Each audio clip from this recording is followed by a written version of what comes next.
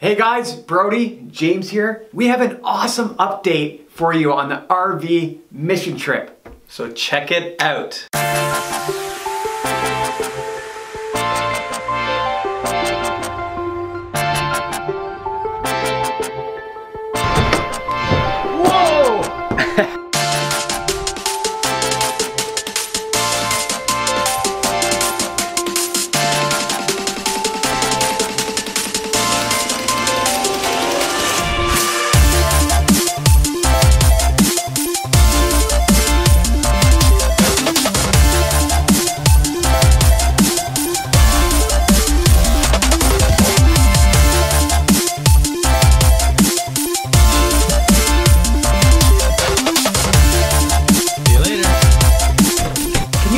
That two months ago, we just started talking about this?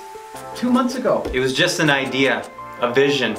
It's amazing when God gives you a vision to do something, all the steps that it takes, He plans it all out. And so within a matter of, I don't even know, Brody. Six weeks? Couple weeks, few weeks, we got an RV and a truck to pull the, the trailer and funding $7,000 $7,000 for our team to go. We're believing that God is calling us to go to these cities and preach the gospel and to help those who are hurting. And a place like Pembroke, they have one of the highest numbers of opioid overdoses is such a crisis over there and we want to go and share the love of God and move in the power of the Holy Spirit. And God has opened up many opportunities. I know myself, I will be sharing in Pembroke at the Pentecostal Church and you will be... Yeah, I'm going to be preaching at uh, First Evangelical Missionary Church in Pembroke. God just opened those doors for us. and So thank you so much for providing and sowing into this ministry, sowing into the souls of Canada. And thank you so much for your prayers. We ask for your continued prayers from September 19th to October the 2nd.